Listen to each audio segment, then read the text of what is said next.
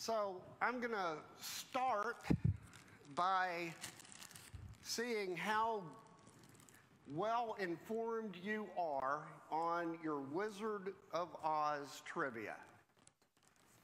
Okay, so let's start with a very easy one.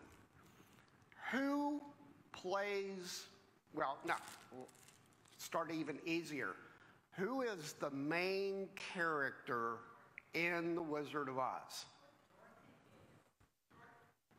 Dorothy Gale. All right?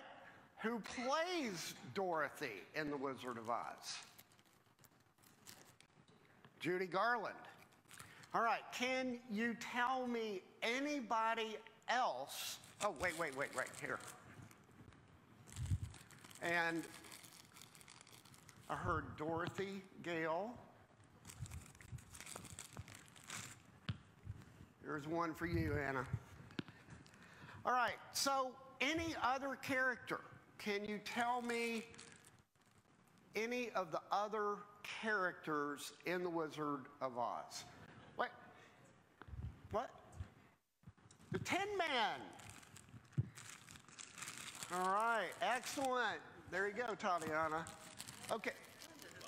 Glinda, the good witch of the north. Very good. The lion. Yes. Okay. And Toto. And Toto too. Okay, now we're leaving one scarecrow. Yeah, we got to get the scarecrow in there. And the wizard, oh, the wicked witch. There you go. Joe, I'm not going to even go. How come you knew the wiz- wicked witch? So, not going there. The Munchkins. Boy, that's a twofer. All right, and somebody said the wizard. I heard somebody say the wizard. All right. Here, and here are some for later because you're going to need them. One more. All right. Now, can you tell me any of the actors other than Judy Garland? Now we're, now we're stepping up to Wizard of Oz Trivia 102. Ray Bolger, excellent, and he was the Scarecrow. Bert Lahr was the Cowardly Lion.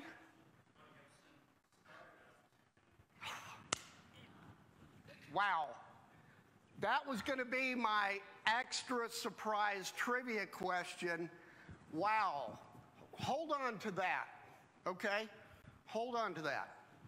Um, who did play the Tin Man? Jack Haley. All right, and who played the wizard? Frank somebody, Frank Morgan. He played the wizard. He played Professor Marvel. He played the carriage driver. He played the doorkeeper to Oz. And he played the guard letting people in to see the wizard. Five roles Frank Morgan played. All right, now, the extra special trivia question was there was an actor who was scheduled to play the Tin Man, but he had problems with what was in the powder to make him have that silver color. Buddy Ebsen. Jed Clampett, Buddy Ebsen was going to be the Tin Man. All right, so why in the world are we and I got to give you like half the bag for that one, but it's up here. So, why am I starting with that this morning? Well, at the end of the year party that I do with my class, end of the year, and it was Friday that we had this party.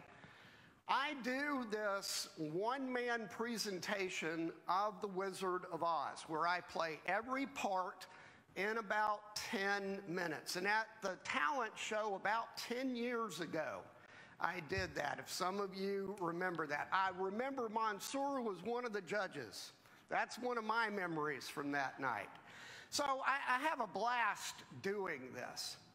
And as I was getting ready and gathering all my stuff, because I have all kinds of props witch's hat and a broom and a, a sun shield that I wrap around my body for the Tin Man. I have all kinds of things that I use. And as I was looking at that, and I got to thinking about what the principal characters are looking for, what they're going to the Wizard of Oz to hopefully get fulfilled in their life. You have the Scarecrow who's looking for, if he only had a brain, he wants wisdom. The Tin Man wants a heart. He wants kind of some meaning and, and faith and something to hold on to in his life. The cowardly lion, of course, wants courage.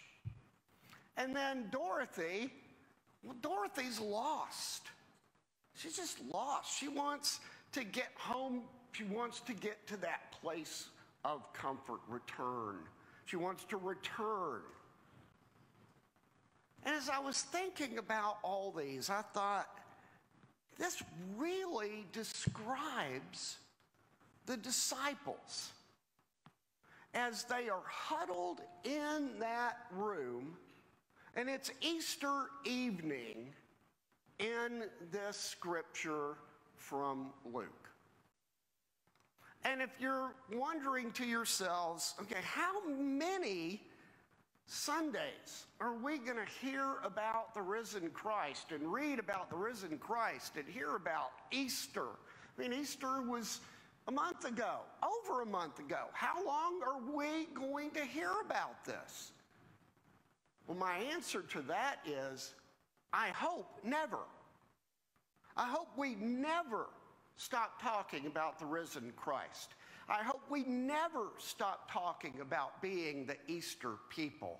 I hope we never forget what Easter shows us. Do you remember the slide that was up there at the beginning?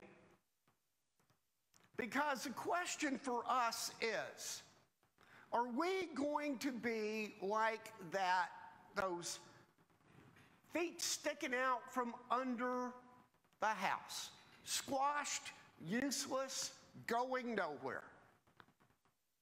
Or are we going to be Easter people? Are we going to live out the resurrection faith? And what does that mean? So here we are once again with an Easter story. And it is appropriate because we still are in the Easter season. And so here we have these disciples. They're crushed, they're heartbroken. They have forgotten the teachings and the wisdom that Jesus gave them. Their purpose in life has been shattered. It was destroyed, nailed to a cross, dead, buried.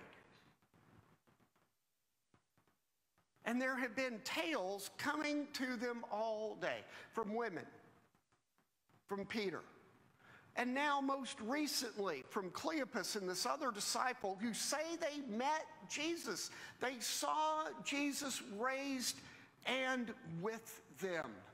And they saw an empty tomb. And what did this mean? And so here they are at this point of whether they too are dead and buried or whether or not they will believe. They need wisdom.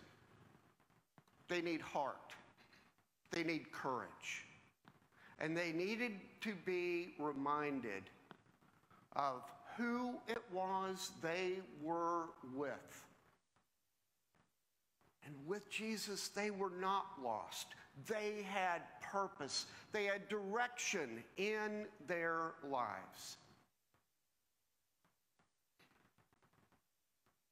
We all face moments like that where we are tempted to just sit this one out, perhaps even sit out the rest of life. We've been too beaten down, we've been too bruised, we've been too hurt. We've lost direction. Life has lost its salt, its flavor. And sometimes we feel like we're useless and just to be thrown out. And it's in those times, especially, those times when we're huddled down and don't know what to do, where to turn. It's those times, especially, that in some way Jesus comes to us. Jesus comes to us and says, Remember. Remember who you are. Remember that you are not alone. Remember that I am with you.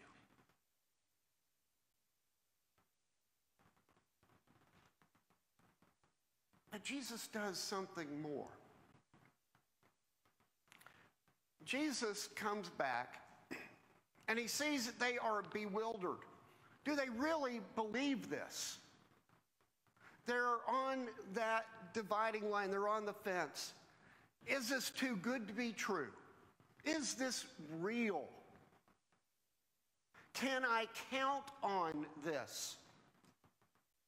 Is this something I can hold on to for the rest of my life? And Jesus says, See that I am real. See that I am really with you. It is not a dream. I am not a ghost. I am not just some spiritual light. I am the resurrected one, resurrected by the power of God. And it's that power that is with you, that undergirds your souls, that challenges you to go out into life, but not on your power alone. For we do not have God in our hands, God has us in his hands. Now, what is all this about Jesus saying, See my hands and my feet? Do you have anything to eat? And he eats broiled fish. Don't you find it interesting that it tells us exactly what they gave Jesus to eat? And if you'll notice, as you read John, in his resurrection accounts, there is a story very much like this. And what was going on in the church at the time was this kind of struggle between do we follow Jesus, the crucified one, or do we follow Jesus, the risen one? And what difference does that make, you may wonder? Well, the people who wanted to worship Jesus, the risen one, the risen Christ, visioned a world pretty much divorced from pain, divorced from trials and tribulations, just glorified life and existence, divorced of the flesh, divorced of the suffering of the world kind of retreating into yourselves and your spiritual life to be pure. And the church that said, no, we follow the one who suffered and died, who was real, and the suffering crucified Jesus is also the risen Christ. And he calls us to be his presence in the world and to live as he lived. There is your purpose. There is what you are to be and to do in the world. And if you do other, then care for the people that Jesus taught you to care for and you saw him reaching out to. If you do otherwise, then you really have lost what it means to be a follower of Jesus. And that's why Luke and John show us Jesus is really with you. And Jesus is the one who says, You will be given power. The interesting thing about The Wizard of Oz, and another way it relates to our Christian lives, is that fulfillment was not instantaneous. The scarecrow did not instantly have a brain. Cowardly lion did not instantly have courage. The tin man did not instantly have a heart. And Dorothy had to go through the whole trip to the yellow brick road and back to Oz again before she could finally find her purpose and was no longer lost. It was not instantaneous. And it was not instantaneous for the disciples. Luke tells us that Jesus says, Go to Jerusalem and wait. And for us, as we live our Christian lives, it's a cycle of learning from our experiences as we walk with Jesus, of falling down and picking ourselves back up, of being surrounded by caring people who support us through tough times, who celebrate with us in our joys, but who walk this path with us. For none of us is it instantaneous. We are in this together. We're caring for one another. We're traveling this road together. So that, like the disciples, when our moment is right, we step up into whatever God is calling us to do at that moment because we have been preparing. The disciples went and they prayed and I'm sure that they cared for others in the name of Christ. They were at the temple glorifying and praising God. And that shows us so much about the Christian life that we prepare, that we worship, that we praise, and that when we are ready and when we are given the opportunity with power beyond ourselves, we shine a light for Christ. So, when are we going to stop hearing about the risen Christ? I hope that the church shouts, never, never. Because the risen Christ is the one who calls us, who shapes us, and sends us out into the world in his name. Amen.